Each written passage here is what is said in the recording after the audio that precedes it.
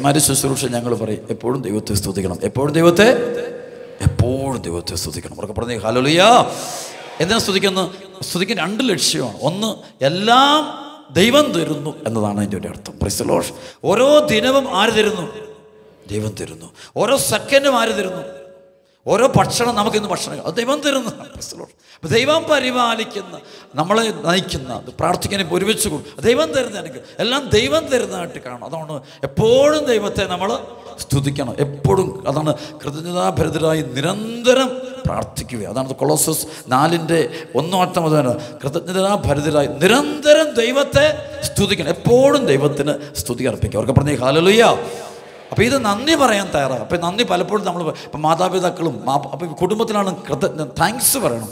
അപ്പനും അമ്മയ്ക്ക് നന്ദി പറയണം. ഈ അപ്പനിലൂടെ അല്ലെ ഭർത്താവിലൂടെ കിട്ടിയ ഒരുപാട് നന്മകൾക്ക് അനുഗ്രഹങ്ങൾക്ക് നന്ദി പറയണം.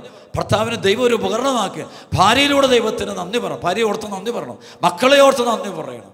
വസ്തുക്കളെ ഓർത്ത് നന്ദി പറയണം കൃഷിയിടങ്ങളെ ഓർത്ത് നന്ദി പറയണം ബിസിനസ് മേഖലയോട്. ദൈവം തന്ന ഒരുപാട് അനുഗ്രഹങ്ങൾ ദൈവം പരിപാലിച്ച നിമിഷങ്ങളെ ഓർത്ത് നമുക്ക് എപ്പോഴും ദൈവത്തിന് നന്ദി പറയണം. സ്ഥലമൂർത്തി പറഞ്ഞേ യേശുവേ നന്ദി.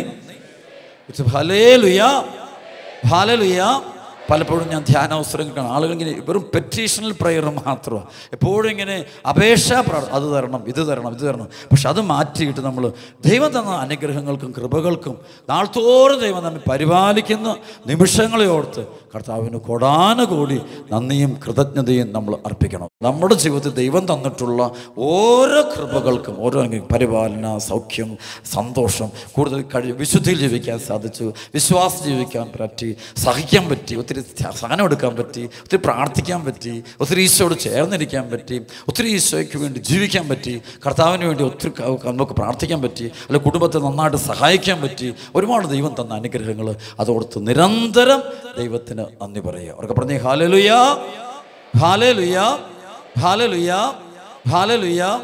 വിശ്വേ നന്ദി. നമുക്കറിയാം തടവറയിൽ കഴിയുന്ന ഈ അപ്പസ്തോലന്മാർ പൗലോസ സീലാസും തടവറയിൽ കഴിഞ്ഞപ്പോൾ അവർ ആ തടവറെ കിടന്നുകൊണ്ട് ദൈവത്തെ എന്ത് ചെയ്യുന്നു? പറഞ്ഞേ എന്ത് ചെയ്തു? സ്തുതിക്കുകയാണ്. അവർ അവരെ ബന്ധിച്ച് അവരെ കൊണ്ട് തടവറയിട്ട് പൂട്ടിയിട്ടു അവരെ. അവരെ ശരിക്കും അതിന് തൊട്ട് മുമ്പ് നമ്മൾ കണ്ടുമുട്ടുന്നത് സംഭവിച്ചാൽ ഈ പൗലോസ് ഒരു ഒരു വലിയൊരു അത്ഭുതം പ്രവർത്തിക്കുന്ന പ്രാർത്ഥനാ കേന്ദ്രത്തിലോട്ട് പോയപ്പോൾ ഭാവി ഫലം പ്രവചിക്കുന്ന ആത്മാവ് ബാധിച്ച ഒരു അടിമ പെൺകുട്ടിയെ കണ്ടു. അവൾ ഈ തന്റെ ഭാവി പ്രവചനം വഴി അവളുടെ യജമാനന്മാർക്ക് ധാരാളം ആദായം ഉണ്ടാക്കിയിരുന്നു. അവൾ പൗലോസിനെ കണ്ടപ്പോൾ പറയുന്നുണ്ട് ഇവർ അത്യുന്നതിൽ നിന്നുള്ളവനാണ് ഇവർ രക്ഷയുടെ മാർഗം പ്രസംഗിക്കുന്നുവെന്ന് ഇവൾ പ്രസ ഇവൾ പറയുന്നുണ്ട്. അപ്പോൾ ആ സമയത്ത് പല പുസ്തകങ്ങളും ഇങ്ങനെ പറയുമ്പോഴത്തേക്ക് അവസാനം പൗലോസിനെ അസ്വസ്ഥപ്പെടുത്തി പൗലോസ് അവളിലുള്ള ഈ പൈശാസിക ശക്തിയെ യേശുവിന്റെ നാമത്തിൽ ബഹിഷ്കരിക്കുന്നു എന്ന് പറയുമ്പോൾ അവളിൽ നിന്ന് ആ ഒരു പൈശാസിക ശക്തി ഇറങ്ങിപ്പോയി. ഇറങ്ങിപ്പോയപ്പോഴും അവരുടെ ആദായ മാർഗം ശരിക്കും ഇവളായിരുന്നു അവരുടെ ആദായ മാർഗം. അപ്പോൾ ആ ആദായ മാർഗം നഷ്ടപ്പെട്ടു എന്ന് കണ്ടു കഴിഞ്ഞപ്പോഴേക്കും അവൾ ഇവന്റെ അവളുടെ യജമാനന്മാരായിരുന്ന ആളുകളുടെ കൊണ്ട് പൗലോസിനെയും ശീലാസിനെയും എല്ലാവരെയും കൂടെ കൂടെയുള്ള മുഴുവൻ ശിഷ്യന്മാരെയും കൂടെ ബന്ധിച്ച് അവരെ കൊണ്ടുപോയിട്ട് തടവറയിലിട്ട് പൂട്ടിയിടുന്നൊരു സംഭവം ഉണ്ട് അവർക്ക് പറഞ്ഞേ ഹാലലുയ്യ പൗലോസ് ബന്ധിച്ച് കഴിഞ്ഞപ്പോൾ അവരുടെ കൂടെ ഉണ്ടായിരുന്ന അടിമ അടിമ ഒരു പെൺകുട്ടി ആ പെണ്ണിന്റെ ഇത് ഈ പൈശാസിക ബന്ധനമുള്ള അത് അവൾ ദർശനമൊക്കെ അത് സ്പിരിറ്റ് വിട്ടുപോയപ്പോടെ അവർ ഈ പൗലോസിനെയും ശിലാസിനെയൊക്കെ ബന്ധിച്ച് കൊണ്ടുപോയിട്ട് തടവറയൊക്കെ ഇട്ട് പൂട്ടുന്നുണ്ട്. അപ്പം തടവറയെ കിടന്നുകൊണ്ട് പൗലോസും ശീലാസും ആ രാത്രി മുഴുവൻ ദൈവത്തെ എന്ത് ചെയ്തു? പറഞ്ഞേ. സ്തുതിക്ക് അവർക്ക് പറഞ്ഞു ഹലലുയ്യ അപ്പൊ ആ സഹനമുണ്ടായപ്പോൾ ഉടനെ അവർ പ്രതികരിക്കുകയല്ല ചെയ്തത്. ഉടനെ അവരൊന്നും ചെയ്തു ദൈവത്തെ അത് അത് ദൈവത്തെ കാരണം അടുത്തൊരു വഴി തുറക്കാൻ ദൈവത്തിന് അടുത്തൊരു പദ്ധതി തുറക്കാൻ ദൈവത്തിന് വലിയൊരു പ്ലാൻ കാരണം കർത്താവിന്റെ അപസ്തോലനം. കർത്താവ് തെരഞ്ഞെടുത്ത ആളാണ് പൗലോസ് സീലാസ്. അപ്പം അവരെ കുറിച്ച് ദൈവത്തിന്റെ പദ്ധതിയുണ്ട്. അപ്പം അവർ ആ സഹനമുണ്ടായപ്പോൾ ആ പീഡനമുണ്ടായപ്പോൾ ആ രോഗം ആ ദുരിതമുണ്ടാകുമ്പോൾ അതിനകത്ത് നിന്നുകൊണ്ട് അവർ ദൈവത്തെ ശക്തമായിട്ട് സ്തുതിച്ചു. സ്തുതിച്ചു കഴിഞ്ഞപ്പോൾ ദൈവത്തിന്റെ മഹത്വം അവരിലേക്ക് കടന്നു വന്നു. സ്ഥലമൂർത്തി പറഞ്ഞേ ഹാലലുയ്യ ഇതുപോലെയൊക്കെ നമ്മളൊക്കെ നമ്മുടെ കുടുംബം രോഗപീഠകൾ തടവറയിലാകാം. ചില വിഷമങ്ങൾ കാണും. മക്കളെ ഓർത്തുള്ള ചില വിഷമങ്ങൾ ഒരുപാട് നന്മകളും അനുഗ്രഹങ്ങളും ചില ബുദ്ധിമുട്ടുകൾ കടബാധ്യതകൾ തകർച്ചകൾ മാനസിക പ്രശ്നങ്ങൾ കുടുംബത്തിലെ പ്രശ്നങ്ങൾ ചിലപ്പം വിവാഹ പ്രശ്നങ്ങൾ മകനെ ഓർത്തുള്ള മകന്റെ രോഗം മകളുടെ രോഗം ഭാര്യയുടെ രോഗം ഭർത്താവിന്റെ രോഗം ഇങ്ങനെ അപകടങ്ങളിൽ ചില മേഖലകൾ കാണും. ചില വേദനകൾ ചില അപമാനങ്ങൾ നിന്ദനങ്ങൾ പരിഹാസങ്ങൾ ഇതിന്റെയൊക്കെ നടക്കുക അപ്പം നമ്മൾ ചെയ്യണം? ആ സമയത്ത് നമ്മൾ നമ്മളൊന്നും ചെയ്യരുത്. ദൈവത്തെ എന്ത് ചെയ്തുകൊണ്ടിരിക്കണം? പറഞ്ഞ് എന്ത് ചെയ്യണം? പറഞ്ഞേ അതാണ് അപ്പസ്തോലന്മാർ നമുക്ക് കാണിച്ച് നമ്മൾ വേറൊന്നും ചെയ്യരുത്. നമ്മൾ ദൈവത്തെ നന്ദി പറയുക. കർത്താവിന്റെ വലിയ ഇടപെടലുണ്ട് അത് ദൈവത്തിന്റെ പദ്ധതിയാണ്. ദൈവത്തെ അപ്പോൾ എപ്പോഴും അവർ ദൈവത്തെ സ്തുതിക്കുന്നവരായിട്ട് മാറുക. അവരുടെ ജീവിതത്തിൽ ഒരിക്കലും സ്തുതിപ്പ് നിർത്തിയിട്ടില്ല. അവർക്ക് പറഞ്ഞേ ഹലലുയ മരണം വരെ അവരെല്ലാ ഘട്ടങ്ങളിലും എല്ലാ ഘട്ടങ്ങളും ദൈവത്തെ ആരാധിക്കുന്നു ദൈവത്തെ സ്തുതിക്കുന്നു.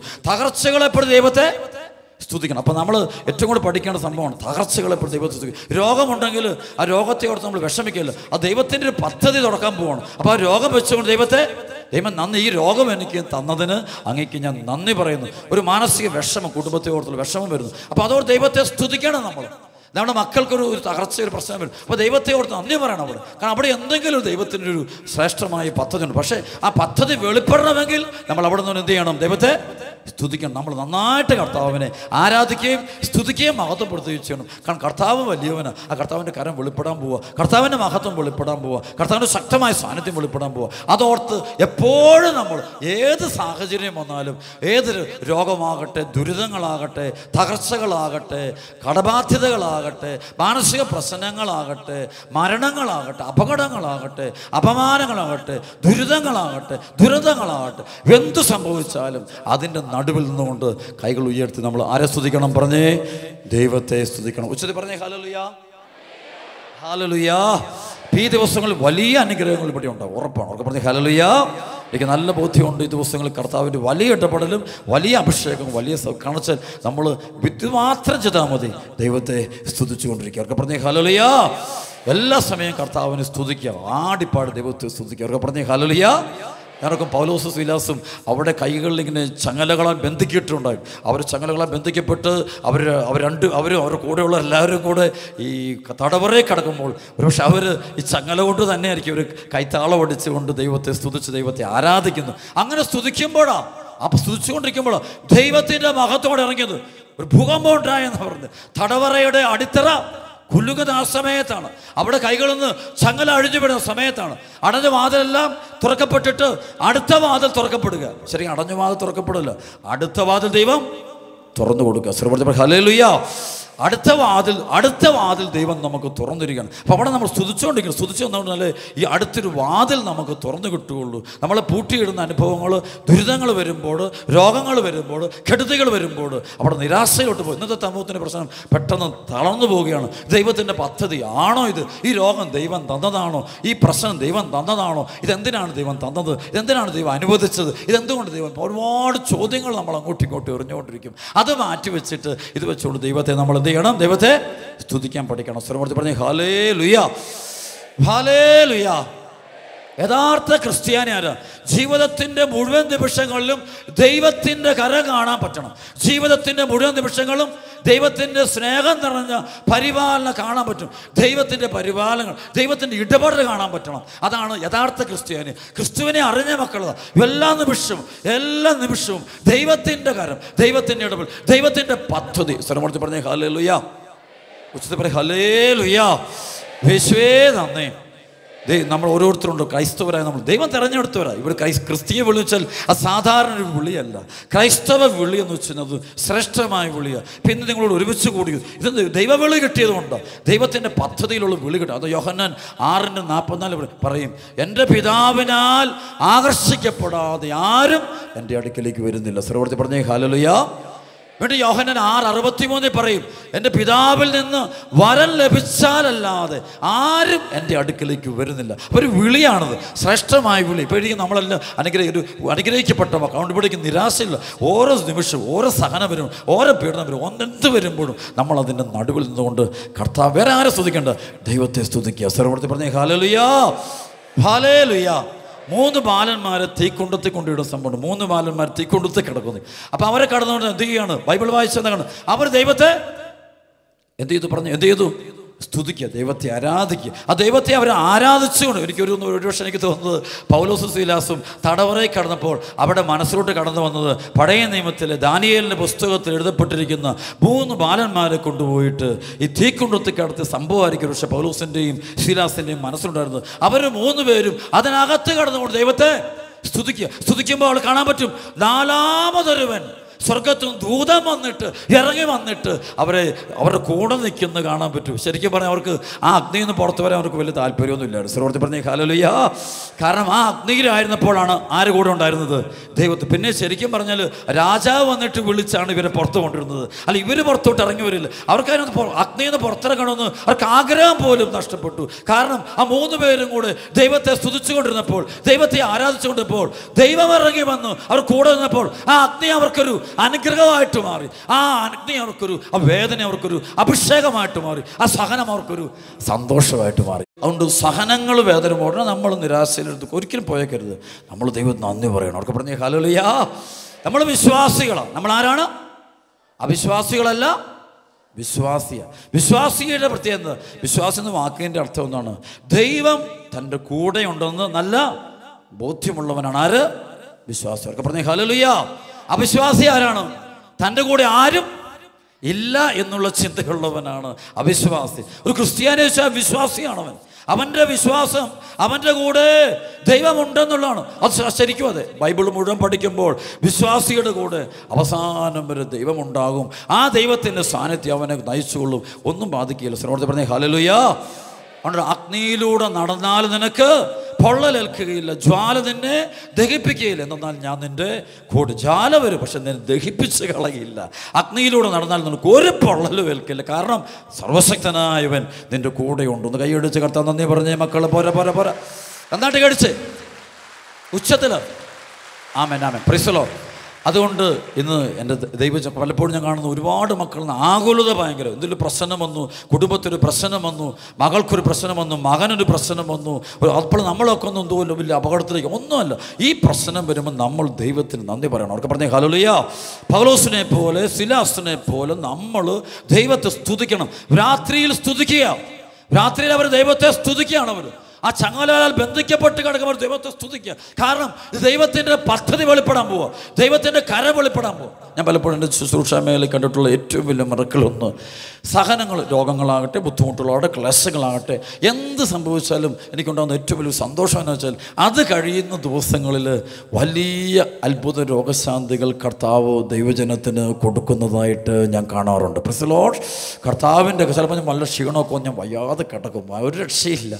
പക്ഷേ അതിനുശേഷം അടുത്ത് നല്ല ടയർഡാവും അപ്പം ശേഷം എഴുന്നേറ്റ് വന്നിട്ട് ശുശ്രൂഷ ചെയ്യുമ്പോൾ നമ്മൾ വ്യക്തി സംസാരിക്കുക വലിയ പ്രസംഗമൊന്നും ചെയ്യേണ്ട കാര്യമൊന്നുമില്ല. പറഞ്ഞു ഹലോലിയ വെറുതെ കൈയെടുത്ത് രോഗികളുടെ മേലെ വെച്ചാൽ മതി. കർത്താവ് സുഖപ്പെടുത്തുന്ന കാണാൻ പറ്റും. യേശുവേ നന്ദി. രണ്ടാഴ്ച മുമ്പ് ദൈവത്തിന്റെ കൃപ കൊണ്ട് ഞാൻ യു എസിൽ ഒരു ശുശ്രൂഷയ്ക്കായിട്ട് പോയി. അമേരിക്കയിൽ ഷിക്കാഗോയിൽ. വലിയൊരു കൺവെൻഷനായിരുന്നു നല്ലൊരു അനുഗ്രഹത്തിന്റെ ദിവസങ്ങളായിരുന്നു. അപ്പോൾ ഞാൻ എയർപോർട്ടിൽ പോയി നിൽക്കുമ്പോൾ ഞാനിങ്ങനെ ഒരു മാറി ഒതുങ്ങി ഒളിച്ചിരിക്കുക. എന്ന് വെച്ചാൽ വരുന്നതായിട്ടല്ല ഒന്ന് ഓടിവിടുന്ന് കഷ്ടപ്പെട്ട് അവിടെ ചെന്നു നല്ല ടയർഡായിരുന്നു ആരും കാണാതെ പെട്ടെന്ന് കയറിപ്പോയ കാലം. പിന്നെ ഒരുപാട് പ്രശ്നങ്ങൾ. അവിടെ വരുമ്പോൾ ഒത്തിരി ആറ് പരിചയമുള്ള ഒത്തിരിയേറെ ആൾക്കാരുണ്ട്. അപ്പം സ്വസ്ഥമായിട്ടൊരു ചെയ്യാം അപ്പോൾ ഒരു മനുഷ്യൻ എന്നെ കണ്ടു. ആളും എന്നെ കാണും ഒറ്റ കരച്ചിൽ വരും ഈ കരച്ചിൽ പറഞ്ഞിട്ട് അവിടുത്തെ എന്റെ പറ്റിയെന്ന് പറഞ്ഞു. ആളെന്റെ അടുത്ത് വന്നു. ആളെന്റെ അടുത്ത് ഞാൻ പറഞ്ഞു അടുത്ത് ഞാൻ ഇരുത്തി. ഞാൻ പറഞ്ഞു എന്റെ പറ്റി? ആഴ്ച ഒന്നും പറ്റിയിട്ടൊന്നുമല്ല. പ്രസിലോഷ് ഒരു സാക്ഷ്യം പറയാൻ വേണ്ടി അവർക്ക് പറഞ്ഞ ഹാലലിശ നമ്മുടെ സാക്ഷ്യം പറയാൻ വേണ്ടി ഇത്രയും കാര്യം വലിയൊരു സംഭവമാണ്. ഒരു വർഷം മുമ്പ് ഇദ്ദേഹത്തിന്റെ മൂത്ത മകൻ പതിനേഴ് വയസ്സ് ഗൾഫ് രാജ്യത്തുള്ളൊരു മനുഷ്യനാണ്.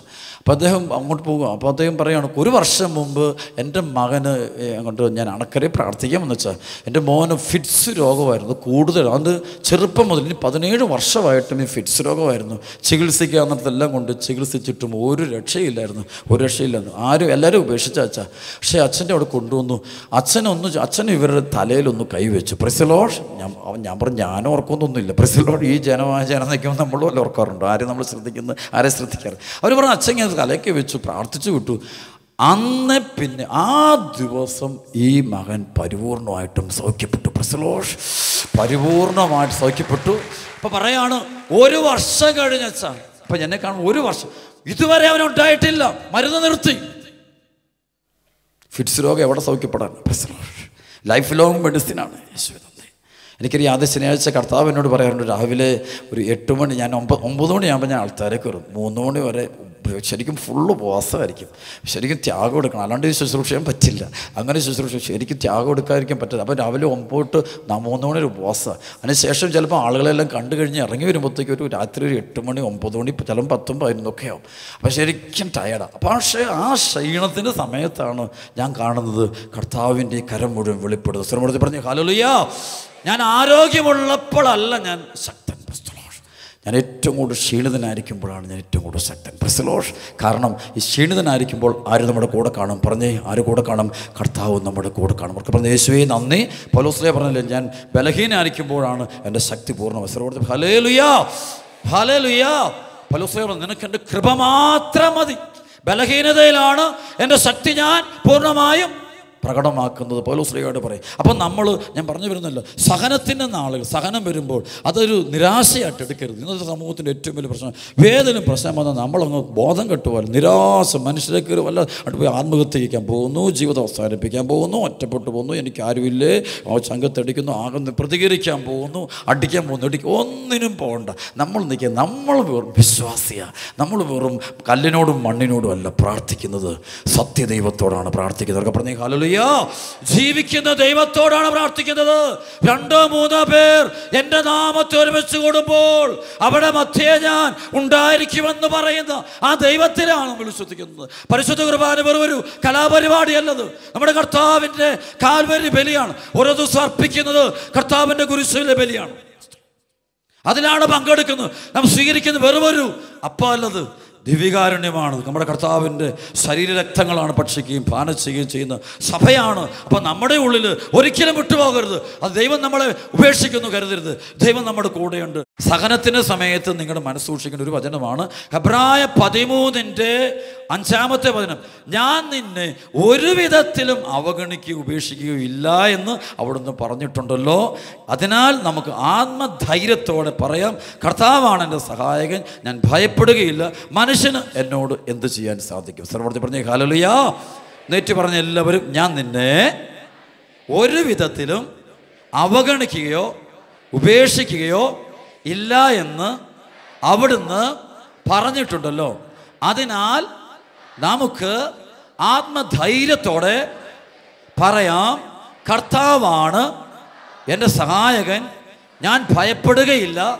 മനുഷ്യന് എന്നോട് എന്ത് ചെയ്യാൻ കഴിയും?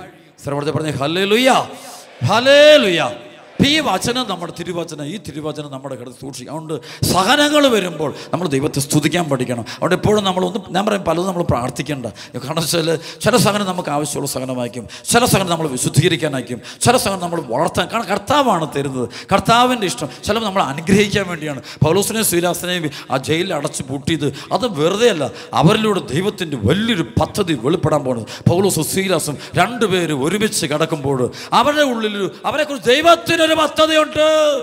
ദൈവത്തിനൊരു പദ്ധതിയുണ്ട്. ദൈവം ഒരു വാത് തുറക്കുകയാണ്. അത് മനുഷ്യനല്ലാണ് വാത് തുറക്കുന്നത്. മനുഷ്യൻ അവർ ദൈവത്തെ സ്തുതിക്കണം. അവർ പുഞ്ചിരിക്കുക. രാത്രി മുഴുവൻ ഒരു ആഹ്ലാദത്തിൽ അവർ സന്തോഷത്തിൽ ദൈവത്തെ മഹത്വപ്പെടുത്തുക. കാരണം വെച്ച് കഴിഞ്ഞാൽ മറ്റൊന്നുമല്ല.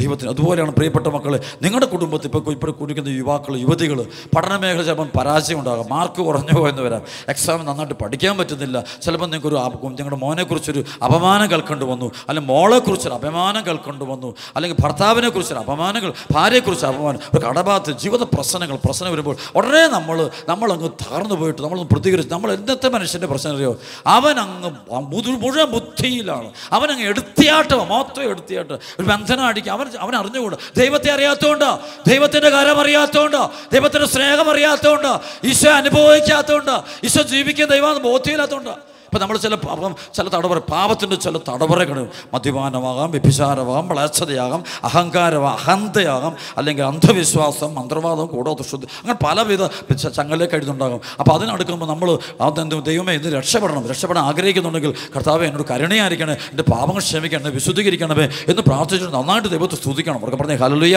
ആ സ്തുതിപ്പിന്റെ സമയത്ത് ഈ ചങ്ങലങ്ങ് പൊട്ടിപ്പോയിക്കോളും. ദൈവത്തിന്റെ കരം ദൈവത്തിന്റെ മഹത്വം നമ്മൾ വെളിപ്പെടുകയും ചെയ്യും.